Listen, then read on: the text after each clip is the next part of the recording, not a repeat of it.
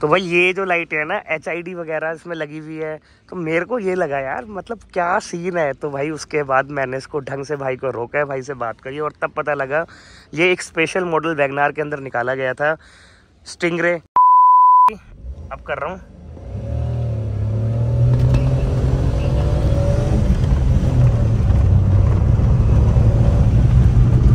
साठ गई थी भाई, और मेरे रोंगटे खड़े हो गए थे। Hello guys welcome back to my channel शवि मान लोग सो कैसे हैं आप लोग? उम्मीद करता हूँ बिल्कुल बढ़िया होंगे हैप्पी होंगे एंड हेल्दी होंगे। तो भाई, आज अगेन मैं आपके लिए लेकर आ गया हूँ एकदम एपिक कार मतलब एपिक भाई, मैं इसको इसलिए बोल रहा हूँ क्योंकि ये कार है ना, आगे से तो मेरे को वैगनार लग रही थी, ठीक है? लेकिन इसमें चेंज इतना था तो मेरे को ये लगा कि भाई, ये बंदे ने वैगनार मॉडिफाइड करवा रखी है। सो भाई, ये वैगनारी ही, लेकिन ये कंपनी की तरफ़ से थोड़ा सा मतलब इसको मॉडिफाइड इसके अंदर थोड़ी बॉडी किट लाइट्स वगैरह सब चेंज वेंज करके दिए गए थे। सो इसको कंपनी स्टिंगरे बोलती थी, वैगनार स्टिंगरे सो मुझे लगा, यार, इस कार का मेरे को रिव्यू डालना चाहिए और ज़रूर डालना चाहिए, क्योंकि ये देखने में इतनी अलग है ना मतलब कोई भी बंदा देखेगा ना भाई, वो ये बोल ही नहीं सकता कि ये कंपनी से ऐसे आती थी। और मैं भी इसको यही सोच रहा था। मेरे को दूर से देख के यही लगा था। मैं कहा, भाई ने क्या मॉडिफाइड करी है? मैंने कहा, भाई, ये लाइट वाइट कहाँ से मंगवाई है? तो भाई, ये जो लाइट है ना एचआईडी वगैरह इसमें लगी हुई है। तो मेरे को ये लगा, यार मतलब क्या सीन है? तो भाई, उसके बाद मैंने इसको ढंग से भाई को रोका है भाई से बात करी और तब पता लगा, ये एक स्पेशल मॉडल वैगनार के अंदर निकाला गया था। स्टिंगरे, जैसा कि मैंने आपको उसका नाम बता ही दिया सो आओ भाई, इस कार का मतलब मैं भी फ़र्स्ट टाइम ही इसके अंदर बैठूँगा फ़र्स्ट टाइम ही रिव्यू कर रहा हूँ। सो जो जो मैं एक्सपीरियंस करूँगा, वो आपके सामने लाता हूँ। सो भाई, इसमें आगे जो चेंज है, वो सबसे बड़ा चेंज है इसके बम्पर का। जो बम्पर है, वो थोड़ा सा वाइड और थोड़ा लॉन्ग है। बीच में देखिए, एक बड़ी ही बढ़िया मतलब एक ग्रिल दी गई है। जो शायद से नॉर्मल में नहीं दी जाती है नॉर्मल में सीधा नीचे बम्पर है ऊपर ग्रिल आती है। ऊपर इसके अंदर ग्रिल नहीं है ये कुछ एलिमिनेटेड चीज़ है मतलब सामने से रिफ्लेक्टर वगैरह कुछ है ये। और इस, इसमें और इस मॉडल में आपको मिल जाते हैं भाई H I D headlamps low beam के लिए एच आई डी है और हाई बीम के लिए आपको मिल जाते हैं रिफ्लेक्टर्स पर। भाई आप देखिए यार क्या मतलब नेक्स्ट लेवल ये चीज़ बना दी थी और दोबारा कभी भी स्टिंगरे वापस नहीं आई है। ये कुछ लिमिटेड मॉडल ही निकाले थे, कुछ ही साल आई थी और ली भी कुछ ही लोगों ने है क्योंकि ज़्यादातर लोगों को ये गाड़ी प्रैक्टिकल नहीं लगती थी। अब इसके साइड में बात कर ले भाई तो देखिए इसके अंदर आपको अलॉयज मिल जाते थे। ये आपको वैगनार में कभी देखने को नहीं मिलेंगे। ये देखिए। कभी नहीं मिलेंगे। साइड से अगर आप इसको देखोगे ना भाई, ये पूरी वैगनार फील देती है और वैगनारी लग रही है और है भी तो अंदर से वैगनारी और अगर इसके पीछे आ जाए तो जो इसके जो टेल लैम्प्स हैं ना ये देखिए। ये टेल लैम्प्स वैगनार से अलग हैं। थोड़े से आ, मतलब थोड़े से नहीं काफ़ी अलग हैं। ये देख रहे हैं छोटी छोटी फिनिशिंग्स मतलब काफ़ी अच्छा टच देने की कोशिश करी थी। और ये देखिए स्टिंगरे वैगनार तो भाई मैंने ये गाड़ी मुश्किल से मुश्किल आप ये समझिए रोड पर बहुत कमी देखी है। और ये आज जिन भाई की देखी थी मैं एकदम से उनसे बोला भाई मेरे को रिव्यू कराओ ये कार है क्या? मॉडिफाइड है। या कुछ और है। तो तब भाई ने बताया कि भाई ये मॉडिफाइड नहीं है, ये है वैगनार स्टिंगरे मतलब साइड से तो आप देखिए यार, पूरी की पूरी ये लगती ही वैगनार है। पीछे से भी आपको पूरी वैगनार लग रही होगी। सिर्फ़ एक जो यहाँ पर चीज़ें आ जाती है ना, एक ये जो क्रोम में आप इसका दे रखा है आपको फिनिश और लाइट्स इनको देखकर आपको पता लगेगा कि हाँ ये वैगनार नहीं है। कुछ चेंज है इसके अंदर। बाकी भाई वैगनार ही चेसी है और चलो भाई, अब इस गाड़ी के अंदर चलते हैं, देखते हैं अंदर क्या चेंज है। वैसे मैंने नॉर्मल व्हीकल वैगनार का रिव्यू नहीं किया राइट साइड में दरवाजे में आपको चारों पावर विंडो मिल जाते हैं इसके अंदर। और ज़्यादा कुछ मेरे को इसका आइडिया नहीं है ये कौन सा मॉडल है, कब का मॉडल है। और आइए भाई बैठ कर इसको थोड़ा सा चला कर भी देखूँगा। तो भाई, ऐसी कुछ की मिलती है नॉर्मल जैसी आपको हर मारुति की कार में मिलती है। आज भी मारुति ऐसी की देते हैं। इवन जो ग्लेंजा वगैरह आती है तो उसमें बस टोयोटा का साइन चेंज है, वो भी सेम ही दे रहे हैं। तो भाई, ऐसा कुछ है अपनी। 2014 मॉडल है ये शायद से हाँ जी। और 14 मॉडल में आपको ऐसा मिलता था। भाई, देखिए, अंदर बैठ कर ना मेरे को, देखिए, ये चीज़ पूरी वैगनार की है। ठीक है? स्टेयरिंग पूरा वैगनार का है। ये जो स्पीडोमीटर है, ये शायद से चेंज है। इसके ऊपर स्टिंगरे भी लिखा हुआ है। ब्लूश ब्लूश इसके अंदर फिनिश दे रखी है। और ये सब आपका पूरा का पूरा जैसा आपका वैगनार में आता है, पूरा कंसोल वैसा ही है। और भाई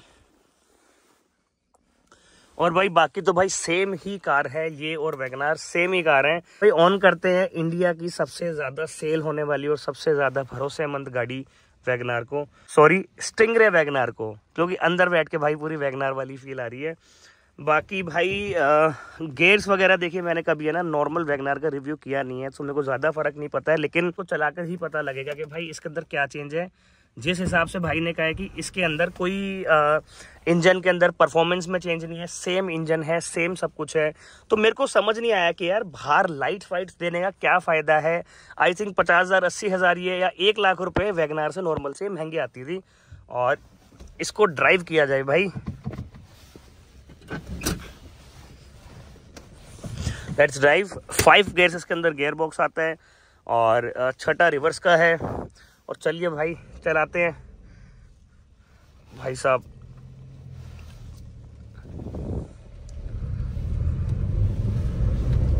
सो भाई फ़र्स्ट टाइम चला रहा हूँ मैं, वैगनार। सॉरी स्टिंगरे यही तो लोगों को दिक्कत हुई है।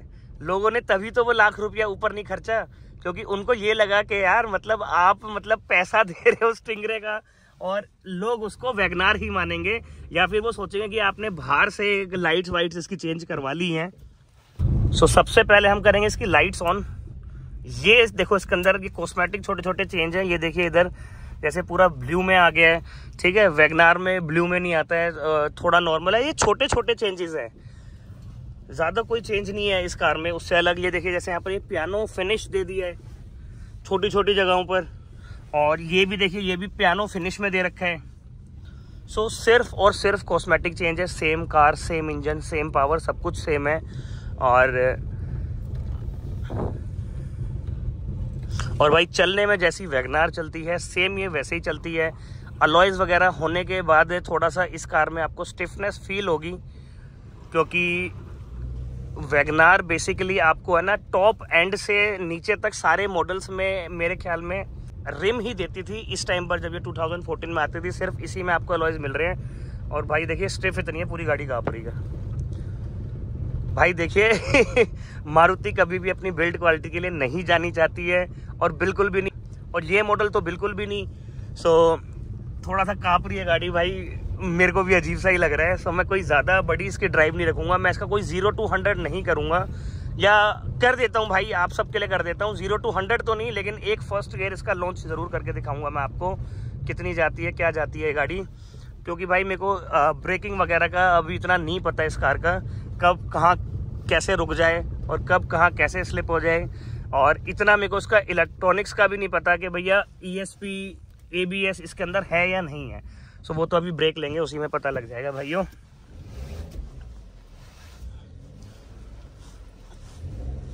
एक चीज़ वैगनार की सबसे अच्छी है भाई, छोटी सी गाड़ी है। मतलब आप कहीं से भी मोड़ दो, वहीं से मुड़ जाती है। और यही एक रीजन है अपने इंडिया में इसको ज़्यादा खरीदने का कि एक तो जो इसकी ग्राउंड क्लियरेंस है, काफ़ी अच्छी है, ऊँची है तो कहीं पर भी चली जाती है। दूसरा कॉम्पैक्ट कार है, छोटी कार है तो किसी भी गली में कहीं पर भी, कहीं भी चली जाती है सो इसलिए लोगों की ये पहली पसंद रहती है। तीसरा, मैंने आपको बताई दिया कि गाड़ी बिल्ड क्वालिटी के लिए नहीं जानी जाती है, ये जानी जाती है अपनी रिलायबिलिटी के लिए। ठीक है मतलब चीज़ें खराब नहीं होती हैं इसके अंदर। जो भी फ़ंक्शंस हैं, आपके ज़्यादा इलेक्ट्रॉनिक्स चीज़ें नहीं हैं, जैसे कि हाइड्रोलिक स्टेयरिंग है इसका तो कोई ख़राब होने की इसमें गुंजाइश ही नहीं है। और जो भी मारुति मतलब चीज़ें देती है ना, वो ज़्यादा देखती है कि लॉन्ग टर्म चल सके। वो ये नहीं देखते कि हम फिट एंड फिनिश कैसी दे रहे हैं। और और ये जो साउंड वगैरह आते हैं, ये नॉर्मल है भाई। ये एक साल छः महीने चली हुई मारुति के अंदर आपको नई कार में आ जाते हैं। सो कोई दिक्कत नहीं है। बाकी भाई प्योर पेट्रोल पे चलती है कार और प्योर पेट्रोल ही है। सो इसको यहाँ से खींच कर देखेंगे आगे से। और भाई साहब, एक बात मैं आपको बता दूँ, इस कार में कभी कट मत मार देना। ठीक है? नेवर एवर कभी कट मत मार देना भाई। ये खड़ी कर दी गाड़ी भाई। अब कर रहा हूँ।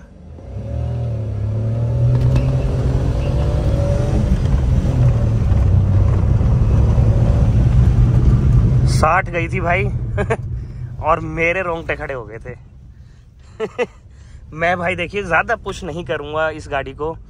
और ऐसे ही चलाने में इसको मज़ा है। भाई, ये गाड़ी कभी भी भगाने के लिए नहीं बनी है। ये गाड़ी बनी है आपका मतलब long term side long term साथ देने के लिए।